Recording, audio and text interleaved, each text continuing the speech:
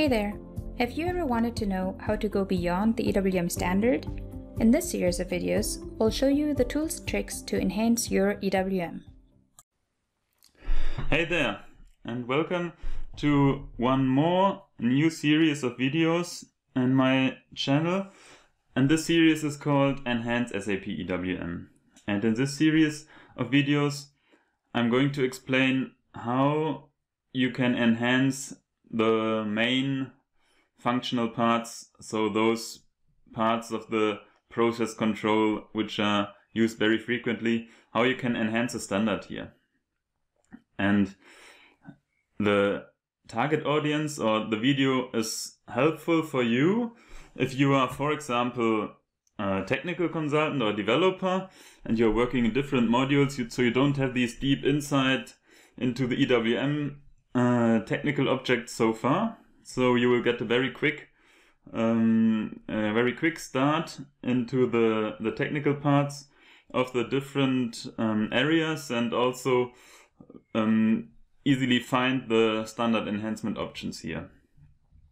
The video series is also suitable for you if you are a functional consultant with a little bit more experience. So uh, you know all this stuff uh, which is uh, written in these um, well-known books and uh, in the help and everywhere else. And you want to get a little bit deeper into the strategies. You know there are always these tiny little details which are not explained in the books. And for those of you i will point out the spots or the objects that you can study to uh, gather all these little tiny details about the different parts we start today with the put away strategy. Uh, this is something which is uh, uh, usually part of every warehousing project. So let's jump into the content part right away. We um, will look at first um, where, or we will, we will, I will explain at first where you find uh, the details uh, that's most important. If you want to study something, you need to know where to find it. So I will explain, I will show you the objects which are important for you. And then the second part of the video, video we look at two examples, how to uh, enhance. I have two example scenarios where I will explain how you can adjust the standard strategies based on your needs. Now, as I said, uh, there are um, many, many information in these books, but at some point, yeah, you would not get all those details. it's impossible. Uh, you would have a book like this. So uh, for those of you who are missing the details, we will we will uh, unshade those for you. So the heart of the EWM put away strategy is basically function group uh, function group SEWM put bin dead. Yeah, and with all those other videos, keep in mind I will put a link in the video description, uh, a link to the corresponding blog post where you can copy paste all the uh, object names so you don't need to make notes now. Yeah. This is a function group and you have these includes carrying the function modules and all the subroutines.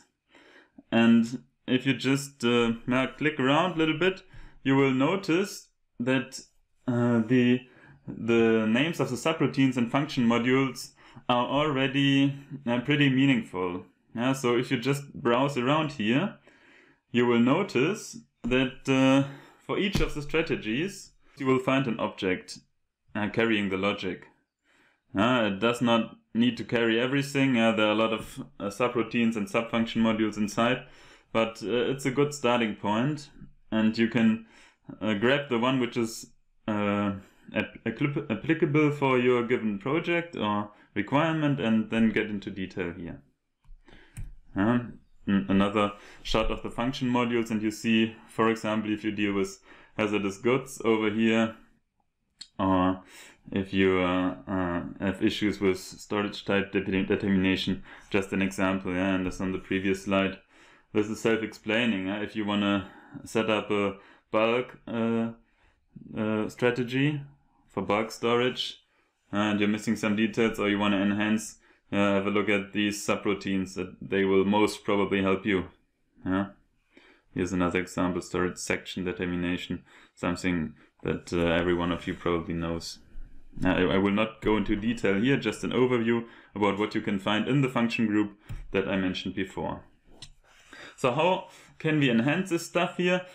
I will not go into every different kind of enhancement techniques here. Uh, first of all, because I'm not a, um, um, a pure technical guy, yeah, I will I, simply don't have the technical basis here. Uh, I would just give you examples for how to use the standard BAdIs. Uh, this, is, this should be uh, your first choice anyhow if you want to enhance something in EWM. Uh, and this is uh, the only uh, option we will focus on here right now. Although I know that there might be different implicit, explicit enhancement options uh, which we could also use, but that should not be uh, the scope of this video. So this is uh, the enhancement spot you want to look at, uh, core PTS. And you already see that there are lots of BAdIs. And again, the description for most of them is self-explaining. Uh, just, uh, for example, uh, take this one, change storage section search sequence. Probably with this BAdI you can change the storage section search sequence. Uh, so even without analyzing the coding, you might find the um, appropriate one just by looking at the description.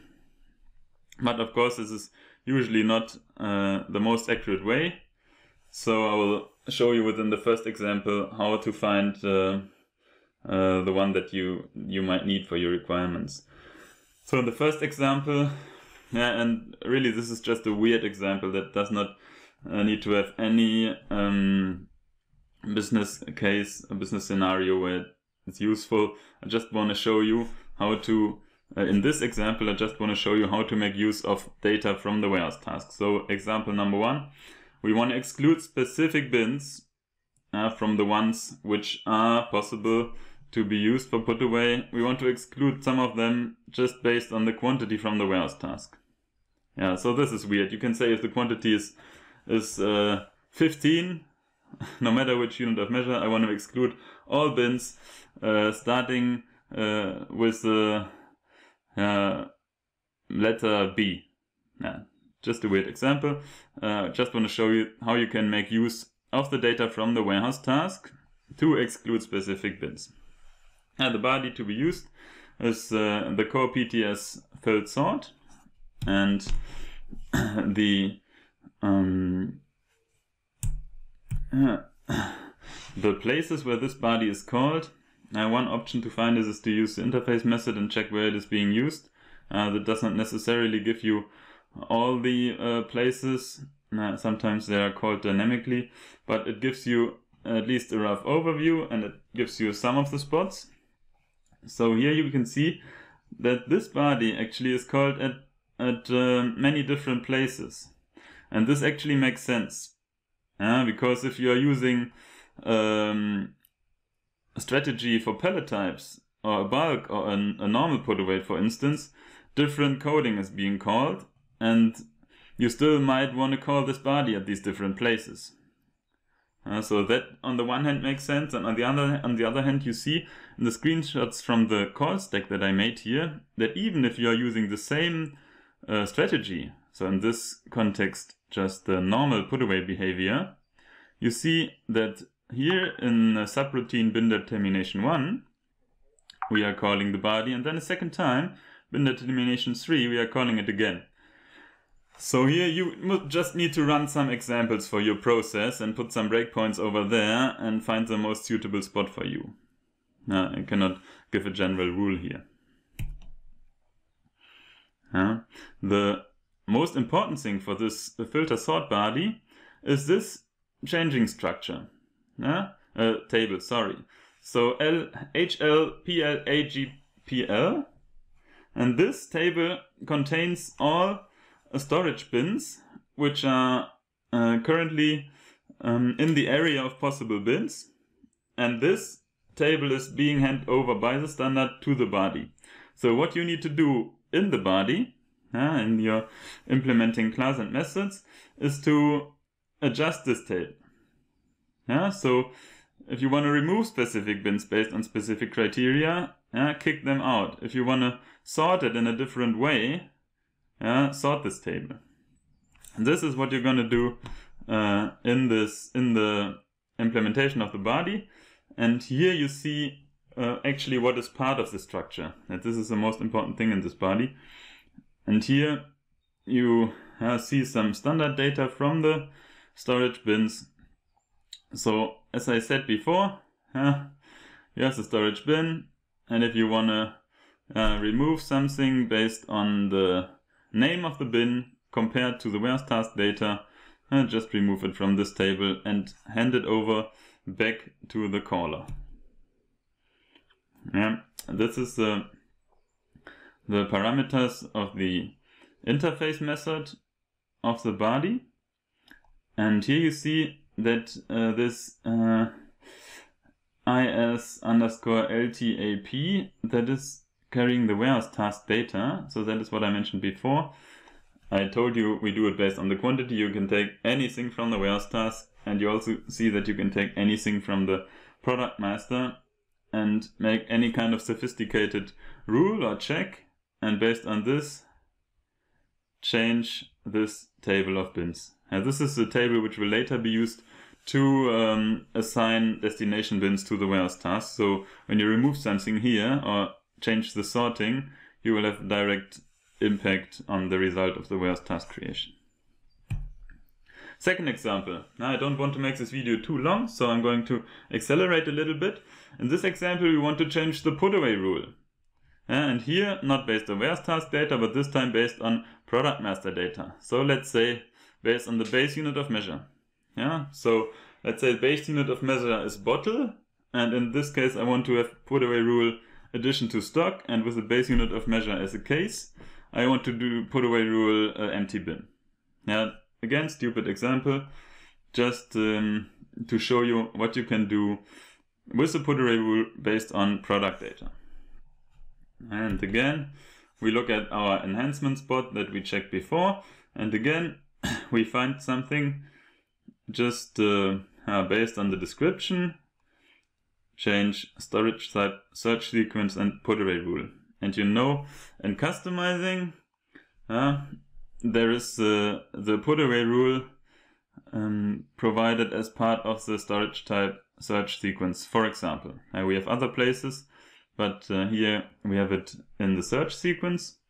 And again, you can find it based on the description. This is not the accurate approach. if you want to find the BAdIs which are really uh, the the ones for your um, specific scenario, you need to uh, check the coding and find the spots where BAdIs are being called. I might wanna uh, I might might want to make another video where I show you how to do this in a structured way, uh, so that you do not need to uh, scan every line of the coding, but find it a little bit faster.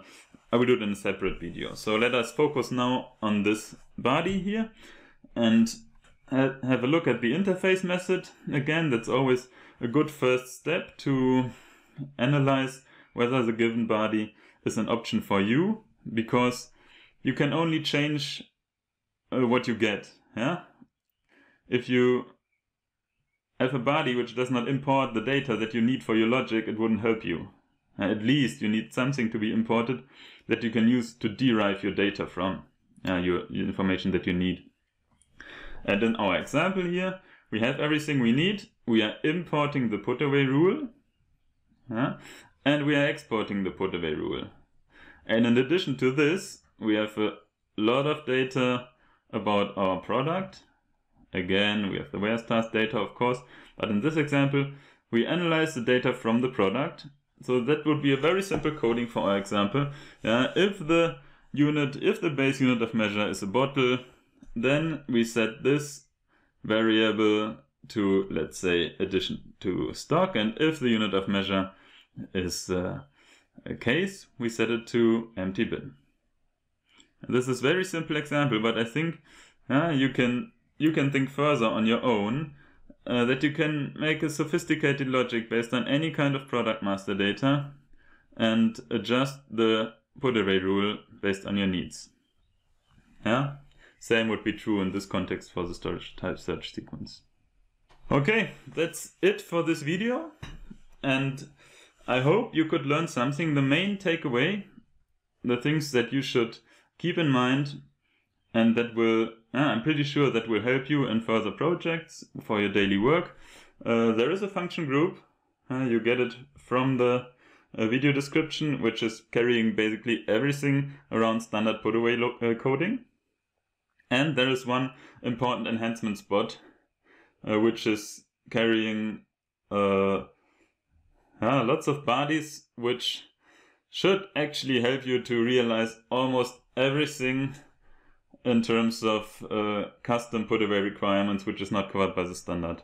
Uh, I think it's very rarely that you cannot cover uh, Z requirements, uh, Z requirements in terms of custom requirements, which cannot be covered via standard plus the options in those BAdIs. Yeah, I'm, I'm interested if you if you really have something, if a, a valid requirement, yeah, where you have good arguments that it is valid for your specific customer, industry, whatever, and if you cannot cover this requirement via standard or via the BAdIs, I'm I'm very curious what this requirement is, and um, yeah, please put it in the video description or send me a note. Yeah, I'm I'm curious here uh, to find a solution via standard or via those BAdIs, and uh, um, that would be that would be nice if you share this. Yeah.